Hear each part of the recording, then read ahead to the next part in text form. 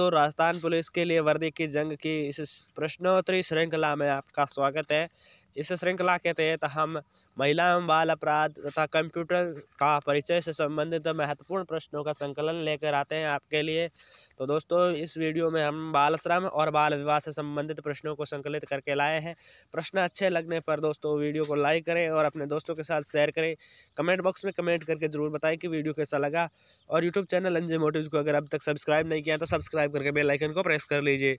तो दोस्तों, इसमें दस प्रश्न शामिल हैं। बाल श्रम और बाल विवाह से संबंधित होंगे ये प्रश्न। तो वीडियो को स्टार्ट करते हैं इससे, इसी के साथ। तो पहला प्रश्न है, भारत में कारखाना कानून उन्नीस के तहत किस आयु से कम उम्र वाले बच्चों को बालक की श्रेणी में रखा गया है? तो इसमें ऑप्शन आपके चौदह वर्ष, पंद्रह वर्ष, सोलह वर्ष और अठारह वर्ष है। तो इसमें ऑप्शन दो सही हो जाएगा, पंद्रह वर्ष। उन्नीस के तहत पंद्रह वर्ष तक के आयु के बाल, बच्चों को बालक की श्रेणी में रखा गया है। दूसरा प्रश्न देखो, भारत में बाल श्रम को प्रतिबंधित करने हेतु बाल श्रम प्रतिषेध एवं विनियमन अधिनियम कब बनाया गया? ऑप्शन है उन्नीस सौ अट्ठासी, उन्नीस सौ पचासी, उन्नीस सौ इक्यानवे और उन्नीस सौ छियासी। तो इसमें ऑप्शन चार सही हो जाएगा आपके उन्नीस सौ छियासी। तो बढ़िए, अगले प्रश्न की तरफ़। के बाल श्रम प्रतिषेध एवं विनियमन अधिनियम के तहत किस उम्र तक के बच्चों को किसी कार्य में नियोजित करने पर या रखने पर प्रतिषेध किया गया है? तो इसमें आपका क्या होगा? पहला ऑप्शन है चौदह वर्ष, दूसरा है पंद्रह वर्ष, तीसरा है तेरह वर्ष और चौथा है सोलह वर्ष।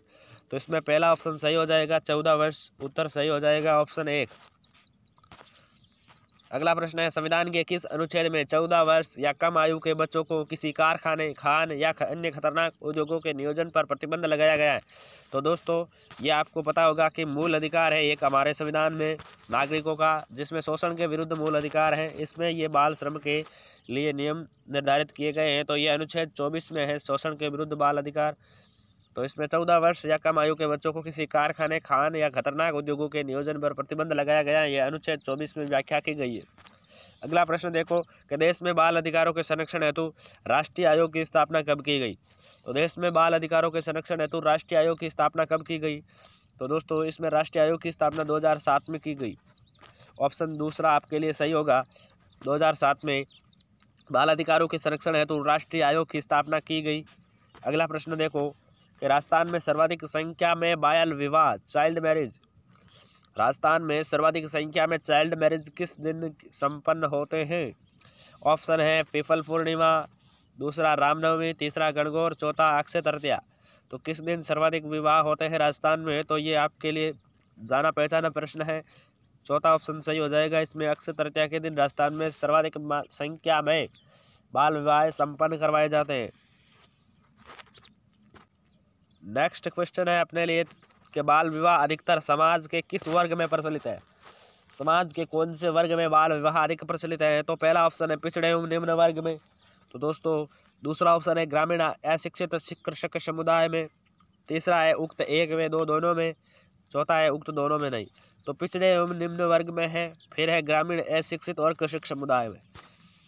तो इसमें आप देख सकते हो, पहला और दूसरा दोनों ऑप्शन सही है तो ऑप्शन तीन हो जाएगा क्या? दोनों में ही। एक तो पिछड़ा एवं निम्न वर्ग, एक ग्रामीण अशिक्षित एवं कृषक समुदाय है जो जो इसके दुष्परिणामों से अवगत नहीं है, वो बाल विवाह वहाँ पर ज़्यादा प्रचलित है। अगला है कि बाल विवाह का दुष्परिणाम क्या है दोस्तों? तो इसमें ऑप्शन है, बालिकाओं के मानसिक एवं शारीरिक विकास का अवरुद्ध होना पहला ऑप्शन है। फिर है, माँ एवं बच्चों में कुपोषण, ये भी है। फिर जनसंख्या वृद्धि उक्त सभी तो चौथा कारण अर्थात तीनों ही कारण इसमें दुष्परिणाम के हैं। तीनों ही दुष्परिणाम है बाल विवाह के तो ऑप्शन चार सही उत्तर हो जाएगा इसमें। नेक्स्ट क्वेश्चन की तरफ़ बढ़िएगा। कि बाल विवाह को समाप्त करने का सर्वाधिक उपयुक्त उपाय क्या है? तो बाल विवाह को समाप्त करने का सर्वाधिक उपयुक्त उपाय है। तो पहला ऑप्शन है शिक्षा का व्यापक प्रसार। दूसरा है आर्थिक उप सहायता करना। ये बाल विवाह को समाप्त करने के सर्वाधिक उपयुक्त उपायों में से ऑप्शन है। तीसरा है रोज़गार के अवसरों में वृद्धि। चौथा है बाल विवाह निरोध कानून का निर्माण। तो इन सभी में सबसे जो प्रभावी है, वह शिक्षा का व्यापक प्रसार है। शिक्षा प्राप्ति के द्वारा या शिक्षा के प्रसार के द्वारा हम बाल विवाह पर नियंत्रण पा सकते हैं, रोक लगा सकते हैं। अगला जो प्रश्न है, वो देख सकते हो आप स्क्रीन पर। देश में बाल विवाह पर रोक लगाने हेतु राष्ट्रीय स्तर पर किया गया प्रथम सरकारी प्रयास क्या था? पहला ऑप्शन है शारदा एक्ट, दूसरा सती प्रथा उन्मूलन, तीसरा है मानवाधिकार घोषणा, चौथा है उक्त सभी। तो जो पहला प्रयास था वो दोस्तों शारदा एक्ट के रूप में था, जिसमें हर विलास शारदा ने इसमें प्रयास किया था, जिसके लिए यह शारदा एक्ट के तौर पर लागू किया गया।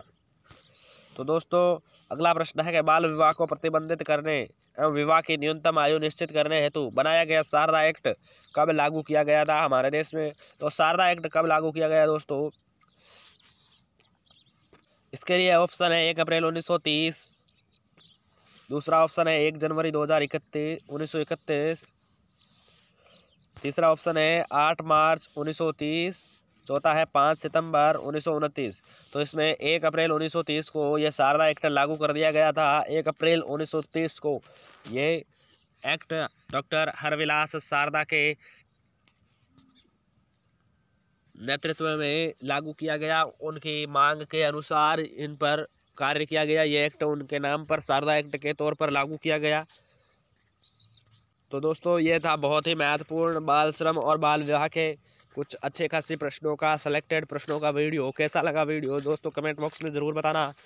और अगर यूट्यूब चैनल अंजे मोटिव्स को अगर अब तक सब्सक्राइब नहीं किया तो सब्सक्राइब करके बेल आइकन को प्रेस कर दीजिए, ताकि आने वाले हर एक अच्छे खासे प्रश्नों के सार या प्रश्नों के वीडियो व्याख्या सहित आपको उपलब्ध हो सके। तो वीडियो देखने के लिए धन्यवाद। मिलते हैं अगले वीडियो में। Thank you. धन्यवाद।